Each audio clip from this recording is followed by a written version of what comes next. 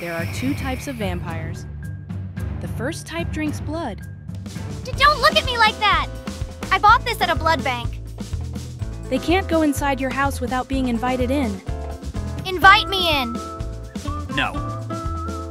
They can brainwash their victims. You will go to the blood bank and get me a snack. Do it yourself. Sometimes.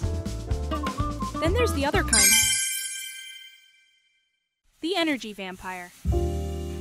And so I told her that Stacy told me that she should like totally buy that perfume. Hey, you paying attention? Yeah, go on. Nah, I don't want to tell you anymore.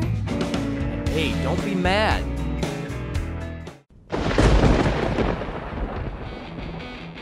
Come on, that's not fair. I'm tired.